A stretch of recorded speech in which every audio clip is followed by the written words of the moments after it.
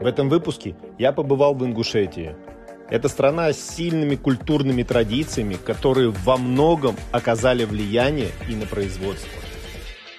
Мне удалось посетить одну из трех крупнейших в России фабрик по производству обуви, а также гигантскую текстильную фабрику площадью более 5000 квадратных метров. Расскажу о секретах создания обуви, чем дорогая обувь отличается от дешевой, как здесь шьют одежду и как с ними работать.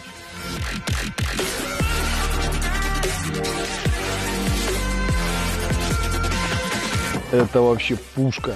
Вот в таком формате это... Есть еще чуть-чуть подешевле.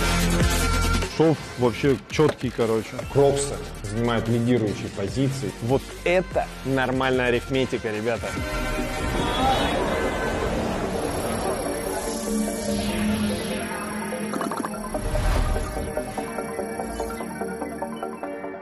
Друзья, всем привет! Мы находимся в аэропорту Шереметьево и сейчас летим в Ингушетию смотреть местные производства. Погнали! Друзья, вот мы и прилетели. Пойдемте посмотрим, а что делают в Ингушетии.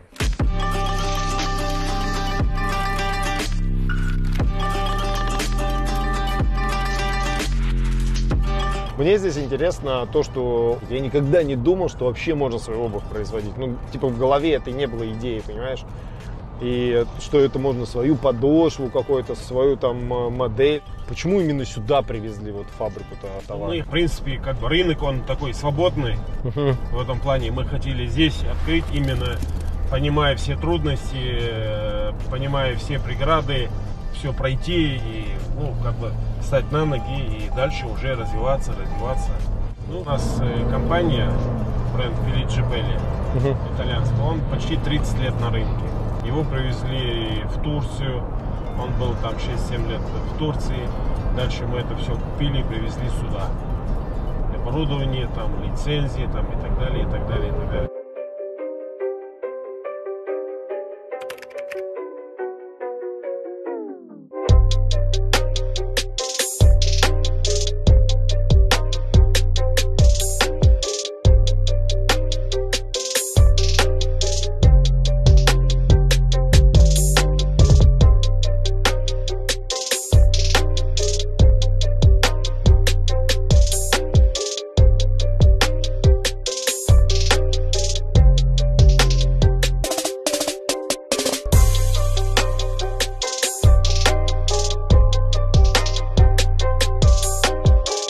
Находимся сейчас на производстве обуви, и Ахмед, он один из учредителей, правильно, этой фабрики. Правильно.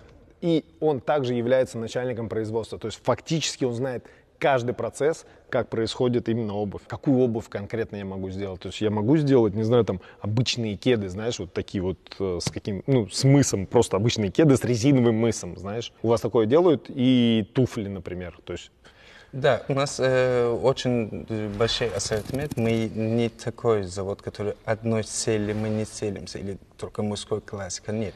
Мужской, женский, детский, спортивный, О. классический, э, ну, ботинки, зимние, летние. Тапочки. Ну, у нас ассортимент очень большой. Российский рынок около 85% импортный товар лежит. Ага. Из них около 48% занимается китайский, такой дешевый ну, сегмент, да, да, да. не делаем. И основном часть уже импортный. Наш часть занимается вот эти европейские и турецкие части. Это 35%, которые это означает средний, выше средний и выше сегменты мы целились. В России практически производителей, можно сказать, нет. Слушай, а где такие модные кеды взял себе? Сам щит. Да? Да.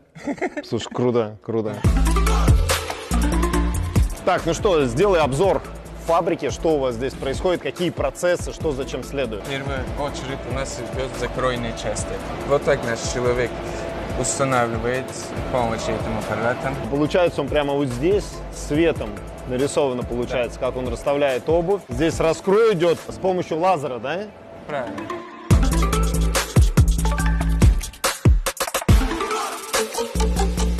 Это э, термопласт, это для усиления задней части обуви. Он также нанес лазером, разграничил все и сейчас просто вырезается. Да. Здесь с помощью ножом, ну, прессовая станка, вырезаем э, определенные части. А, то есть какую-то часть Да. для обуви, то есть это может быть сбоку где-то, еще что-то. И дальше что происходит? Так, Вы наносите правильно. свой бренд, Да, это на стельку. правильно. А это может быть где-нибудь сзади, на коже, на, Да. на любую, короче, часть детали. Да. А где э, раскраивается сама вот эта обувь? Каждая часть э, одного из станков приготовляется, потом передается сюда, швейные части.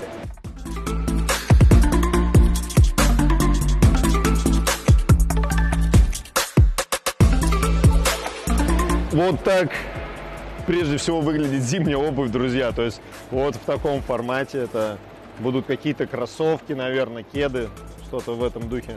Делается стелька, да, сюда просто пришивается. А, вот так новая модель разрабатывается. Прикольно. Творец, в общем.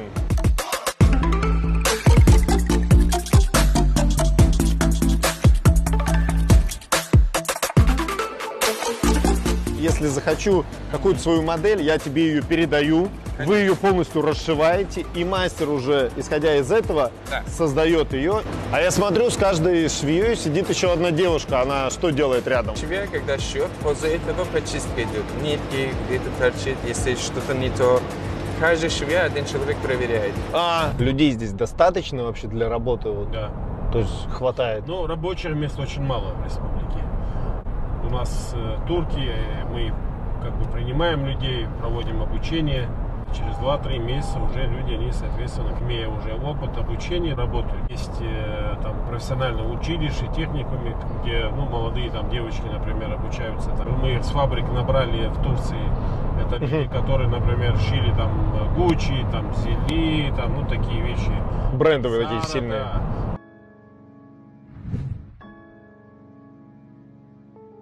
Я смотрю, ну они прям, ну, офигенные. Качество офигенное, да? Сколько такие будут стоить, э, если оптом брать? А, Она будет 1500 рублей стоить. Прям. Передняя часть у нее кожа. э, Это ткань специальная, это э, итальянская ткань. Шлифовка это ручной работа. И э, под него каучуковая подошва. Она очень дорогая, очень мощная подошва. У нее- О нем железные стельки. э, ну, форму, что он долгие годы сохранился. Вот такие вот ботиночки. Это полностью кожа, это тоже итальянская э, ткань. Вот эти красные части кожи бувало, это быко быковая кожа, железные стельки и термополиуретан подошва. Это у нас 2,250 получается. Слушай, а почем такую в розницу можно было бы продавать? В магазинах от 17 до 25 продается сейчас. А, вот эта модель 17 тысяч стоит? Да, в магазинах. Блядь, ну это другое дело. За 2200 берем, короче, за 17 продаем. Вот это нормальная арифметика, ребята. Здесь, я смотрю, ну это не шнурки, а просто какие-то завязки. для Завязки, нач- да. Что когда форма у него одевается, чтобы не открывался, а стану форму не терял. Внутри такой специальный состав, да, вот здесь под пятку.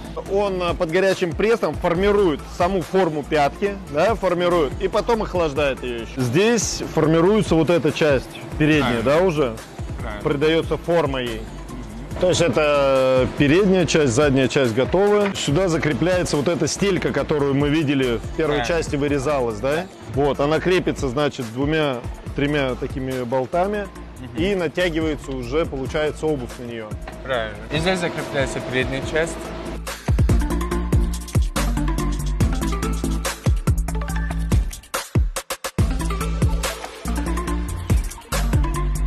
Здесь подготовка для закрепления задней части делается. Почему это вручную делается? Это э, полностью автоматизированный завод, но и здесь даже работа 40% около ручной идет. Офигеть. Да, это самые лучшие обувь, которые ручной подготовки. Человек своей интуиции тоже добавляет туда. Как надо. Душа, короче, Да. обувь с душой. Например, это кроссовки. Она э, Такой классика в целом. Потому что сам по себе каждое движение нога около от 35 до 45 процентов получается э, движение ногах. Все движения получается на подошве. Но аэродинамически он очень хорошо рассчитан. А для бега там что-то в таком духе вы не сегментируете себя? А для бега тоже есть точно такой же аэродинамики, э, более там дыхающий там этот э, материал ткановый использован. Тоже это кожа бувало пользуюсь. Она не потрескается, знаешь как? Нет. Что нормально будет. Сколько такие стоят? Она 2000 стоит. Стильненько вот эти всякие дополнения, цепочки, элементы. Тут я смотрю, о, молния даже э, можно расстегнуть, застегнуть. Вот это, это какой-то ваш бренд или что это? Да. Слушай, ну круто сделано. Сколько такая стоит пара? 4. 4 тысячи вот такая будет Да. стоить. Я вот прямо сейчас с тобой общаюсь и понимаю, что обувной рынок это как раз такие цифры, которые, ну, круто, круто продавать. Это примерно э, покупаешь за 4, там, тысяч за 30, ты можешь продавать эту обувь, и получается, что, ну, хорошая прибыль на самом деле в обуви-то. Муса, приветствую. Как вообще начинать работать, да, там, с вами? На самом деле все очень легко и просто. Надо главное найти нас и все. Дальше уже, как говорится, дело техники. Да, кстати, как вас находят? Это самый интересный вопрос. Вот именно. Вот. Пер- первые наши шаги. А, как это будет? Придумываем для вас модель, дизайн, классическую, спортивную, ну, там, зимнюю, строгую, к, э, башмаки военные, Ага. как бы, ну, обувь, это же, ну, очень большая, широкое направление. Ну, Мы готовы произвести, кто-то там хочет выйти со своим брендом на marketplace, мы точно так же можем ему сопутствовать в этом. Мы для вас можем придумать или там подсказать вам, или же, и вы приходите со своим моделью, мы делаем прям как вы хотите, под вас мы делаем. Я, например, хотел бы какую-то определенную там подошву создать. То есть вы со всем этим работаете. Да, То есть вообще любую дизайнерскую подошву. Идет со заднего части закрепления. Чувствую, жар какой-то идет. Это утюг. Да, здесь пар даем. Это собрали, значит, приклеили. И здесь гвозди открывается. И он уже просто их вытаскивает. Гвозди нужны были для того, чтобы обувь максимально натянуть, чтобы придать ей форму ноги. Да. и после этого они на том аппарате мы склеили, охладили, и вот ребята их уже вытаскивают. Смотри, прям в шов сделан, и даже не заметите, что это ручная работа была. Но офигенно вообще создается. Пушка. Так, дальше обувь попадает э, сюда. И здесь шлифуем. Надо резину зашлифовать, Да, да, да, и потом оно лучше цепляется. Получается, снимается верхний слой для того, чтобы э, дальше какой-то уже процесс. Сейчас мы его как раз посмотрим, как выглядит. Карандашом прорисовывается, полностью отмечается на обуви, где уже дальше будет наноситься клей. Получилась вот такая вот штучка по кругу сделана. Здесь наносят клей, для который отметены место, да, оттуда аккуратно, что э, не, не торчал этот клей, э, не, не вышел от подошвы. Сколько будет вот первое тестовое, первые тестовые вот лекала готовы уже? Это Сколько в оно будет? районе от 500 до 700 долларов это будет первое литье. Форма обуви, человек будет ну, по- под вашу обувь будут делать эту, эту формочку, чтобы на дальнейшем заливать под эту форму. То есть вы один раз Заливать заплатили- что? Подошву? О, подошву, да, для А. обуви. Вы один раз заплатили за эту, все. Расскажи, ну, мне как селлеру, мне невыгодно сейчас вкладывать, дофига инвестировать денег, я же хочу затестировать только. Ну, это вообще будет и проще и для вас, и для нас. Вашими вам- моделями, да, правильно вашу модель вы берете, просто там сверху вы чуть-чуть там меняете, пару нитей добавляете, пару цвета меняете и все. И Ну, у вас будет готовая модель. Сколько минимальный заказ можно было бы у вас сформировать? Минимальные парты мы можем принять 120 пар. 120 пар это разного размера получается. Конечно. Это размерный ряд. 8 пар, один размерный ряд получается.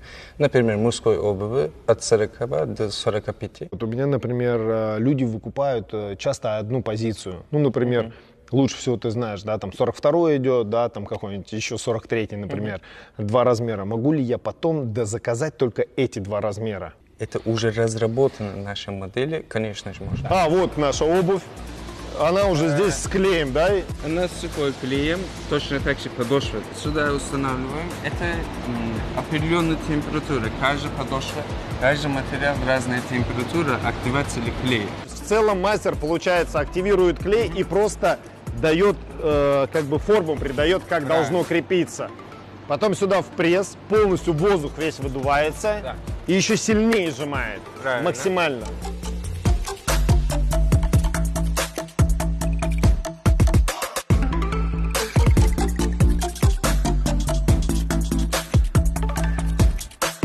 И вот в целом получается вот такая уже моделька.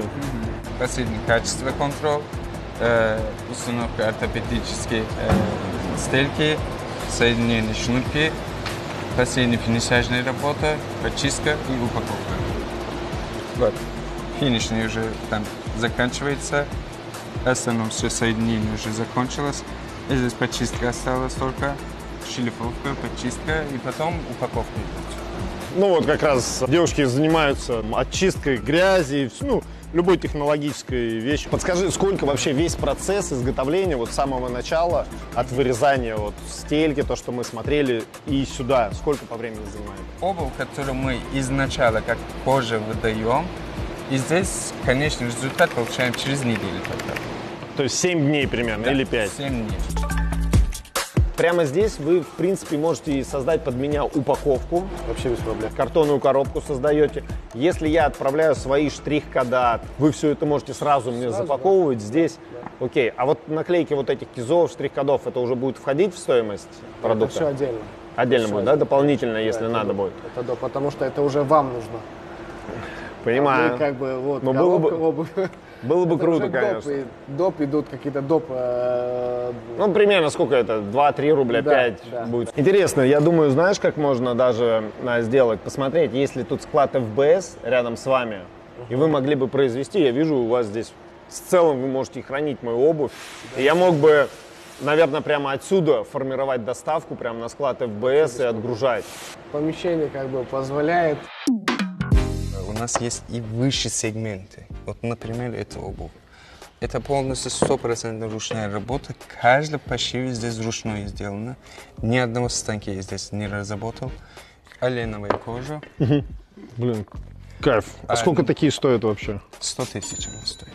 Можно у него один пар только заказать. А, Для только вас. одну пару Да, можно заказать Для вас его, да, производят. Это настоящая питоновая кожа. Мгм. Тоже э, полностью ручной разработанная. Подошва даже ручная собирается. Каждый пошив здесь ручной сделается. Слышь, я никогда вообще не думал, что обувь можно вообще в такой коробке получить. Слушай, это вообще пушка. Каждая обувь свои мешки отдельные. Мы с ним вместе даем, э, который солится, что сохранил кожу долгие годы. Ремень еще, да, сюда идет в Да. комплекте? Слушай, это крутой подарок вообще. И- Это прям такой... Стресс-сертификаты даем, которые это кожа откуда, что в Италию, Милану, какой-нибудь там магазин, если зайдете, их цена приблизительно от 300, 300 до 700 евро будет стоить. И А здесь оптом почем такие? они 4500 стоят. В России туда улетает, в Италии это магазины, там 10 раз дороже покупает. А здесь мы сами производим, там тоже мы сами производим. Вот то- это сегменты, например, вот это очень красивая обувь. У нас там очень большие востребования этой обуви, тоже кожаная подошва. Она вот, например, 6 тысяч стоит. Ну, обычно кожаные подошвы обуви, вот обычные магазины, у них даже цена 14-15 начинаешь. А есть еще чуть-чуть подешевле? Хорошо, есть, конечно. Продается 1800, 2000. Вот так у них цена. Чем отличается вообще от тех? Там основная работа и стоимость э, подошвы получается. Кожаные подошвы сами по себе очень дорогие. Полиуретановые подошвы пользуемся. А верхняя часть обычно там, э, ну, массовое производство у нас идет, станочная работа, монтаж у нас автономный идет. Производительность не очень высокая для этого типа обуви. Материал, конечно, намного дешевле, чем эта обувь. На сегодняшний день в России я знаю очень много фабрик, которые производят одежду. И очень много молодых предпринимателей, которые занимаются одеждой. То есть они создают свой бренд одежды. Но очень мало людей, которые занимаются производством обуви и делают свою обувь. Поэтому я считаю, что эта ниша довольно-таки Ну да, свободная именно для России. Есть более такие предприимчивые предприниматели, вот для них большой шанс зайти на это, потому что рынок, можно сказать, что пустой. Блин, да я могу свою обувь разработать, я могу свой дизайн создать, какие-то свои штуки дополнить. Очень круто, потому что сейчас в действительности каждый селлер вообще на маркетплейсе, он уже не просто перекуп идет, а он уже больше в сторону создания чего-то, создания какого-то продукта. Своего, да. Да, это бренд. Прикинь, ты создал бренд одежды, туда дополнил там обувью. И э, это будет прям целый лук, готовый для продажи уже клиенту. Это вообще просто офигенная история.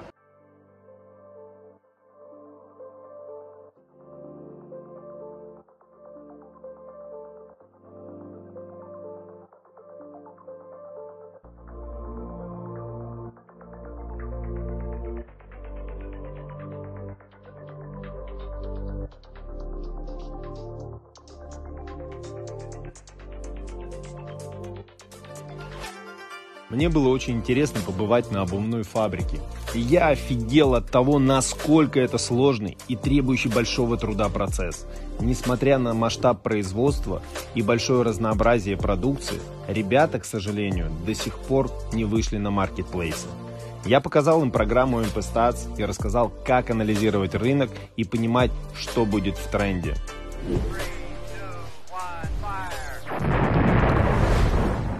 Так, смотрите, ребят, э, в целом по обуви, вот с помощью этой программы мы можем увидеть вообще, что лучше всего продается на рынке сейчас, да, и что востребовано. Мы сейчас пойдем от самого большого, что больше всего продается. В данный момент мы понимаем, что кроксы занимают лидирующие позиции. Вот, например, продаются, вот одна обувь продается на 17 миллионов. С 1.06 по 30.06. Это в этом месяце они продали вот такие ботинки на 17 миллионов. Кеды, простые белые кеды. Они продают на 5 миллионов в месяц. Круто. За 2000 рублей они продают их. То есть люди любят простые формы, и этим летом а, хиты это, короче, белые кеды просто. Дальше вот, такие, вот такая обувь.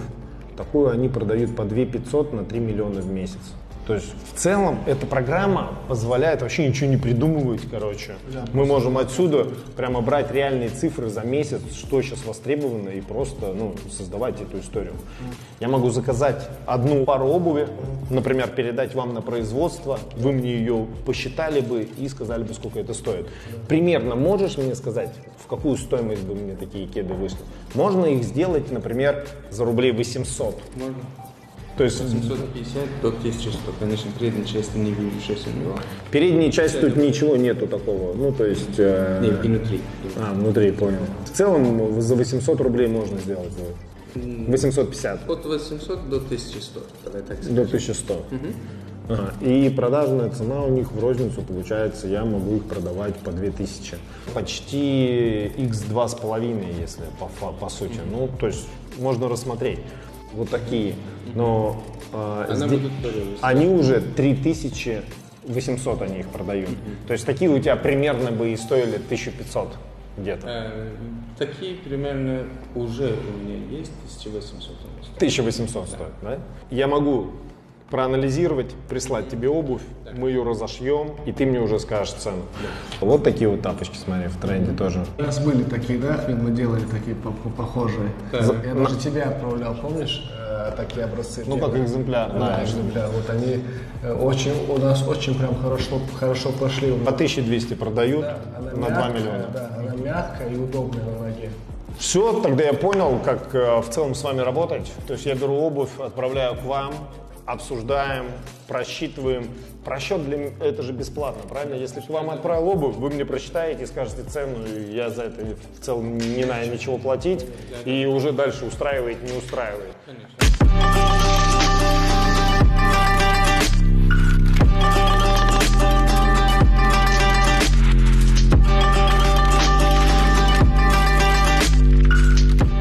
Площадь этого производства 6 тысяч квадратных метров. В день они могут отшивать на данный момент вот с такой загрузкой от 3 до 5 тысяч изделий, друзья. Просто представьте себе.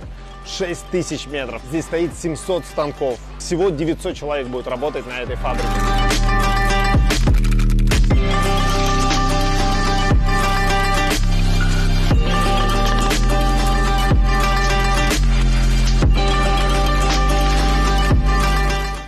Меня Виталий зовут. Ну, Здравствуйте, меня Якуб. зовут. Якуб. Я здесь работаю на этой фабрике заместителем директора и также и переводчиком по совместительству, можно сказать. А почему переводчиком? Потому что у нас тут работает очень много турецких специалистов. Слушай, а скажи, э, ткани у вас какие? Ну, ткани мы сейчас используем разные. У нас и есть турецкие ткани, есть, э, есть естественно, китайские ткани есть.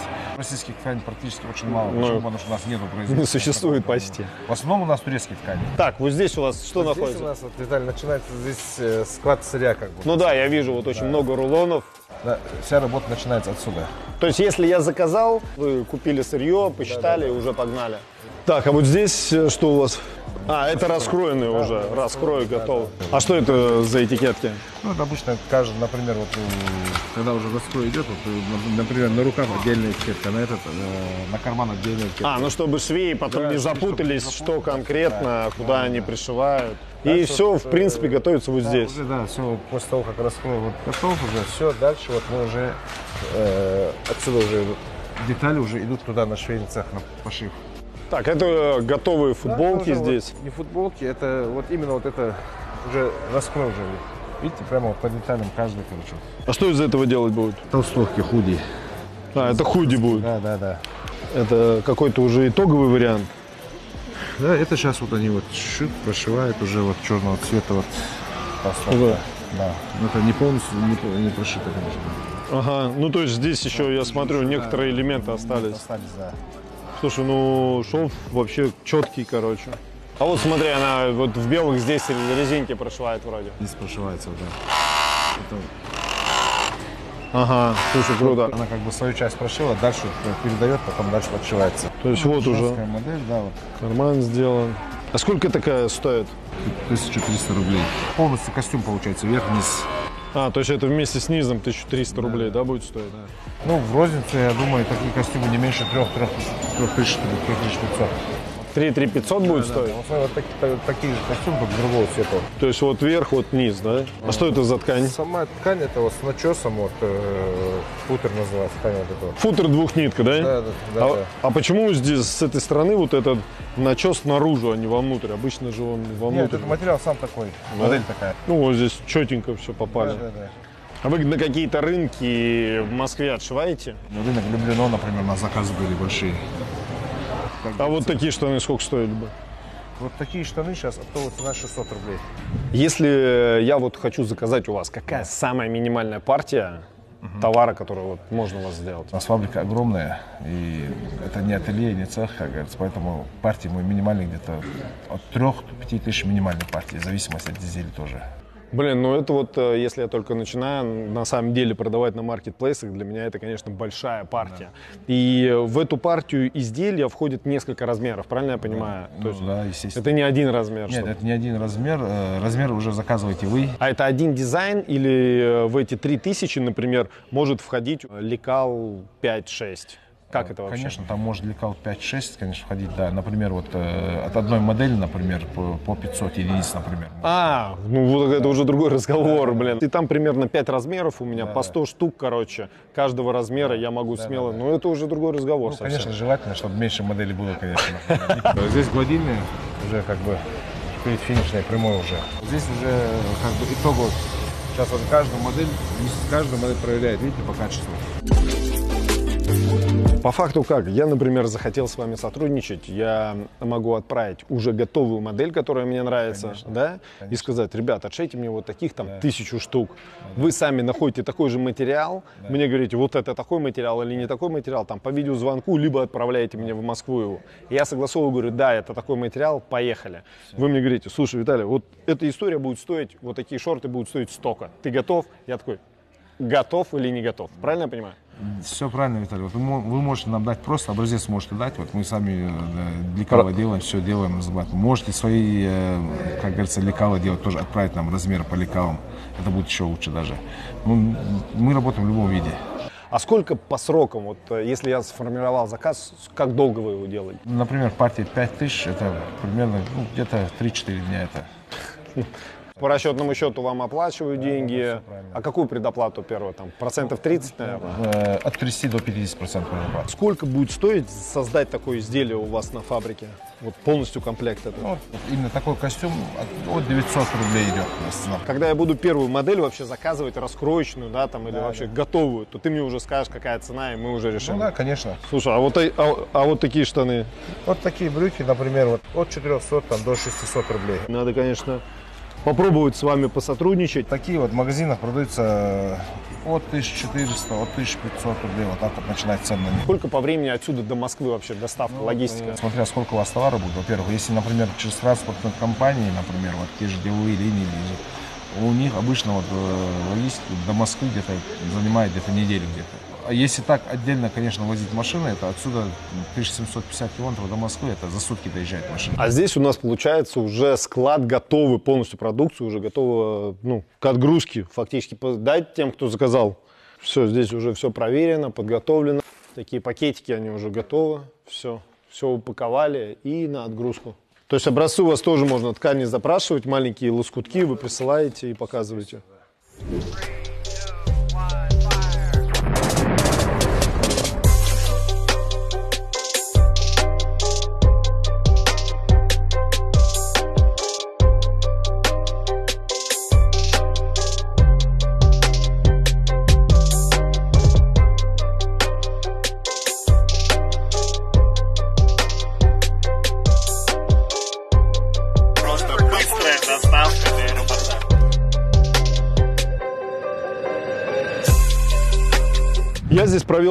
Не так много времени и э, убедился в том, что в действительности есть такие люди, которые готовы, э, готовы создавать, создавать охрененный продукт, который будет востребован нашими клиентами.